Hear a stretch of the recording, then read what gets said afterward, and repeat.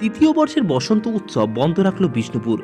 যখন মনে এত কষ্ট, তখন মনে আনন্দ আসে কি করে? হ্যাঁ এমনই ছবি ধরা পড়ল আমাদের ক্যামেরায়।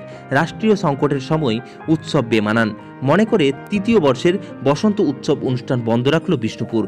বাঁকুড়ার বিষ্ণুপুর শহরে নিজের বাসভবনে এক সাংবাদিক সম্মেলনের কথা ঘোষণা করেন স্থানীয় বিধায়ক ও বসন্ত যাপন সমিতির সভাপতি তুষারকান্তি ভট্টাচার্য।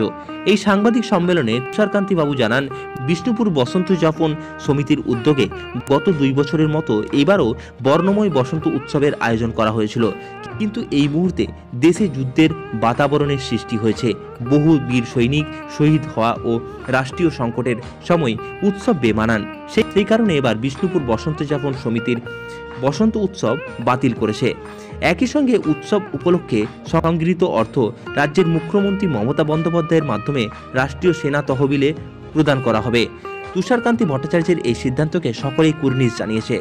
সঠিক সময়ে সঠিক সিদ্ধান্ত নিতে পারেন বলেই তিনি আজও মানুষের কাছে আনন্দের পাত্র। বিষ্ণুপুর থেকে অমিত শর্মার রিপোর্ট, বঙ্গের খবর।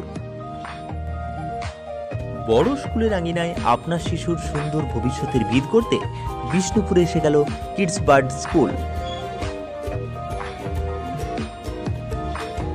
এখানে পড়াশোনার সাথে সাথে ক্রেশ ও ড্রে বোর্ডিংয়েরও ব্যবস্থা আছে।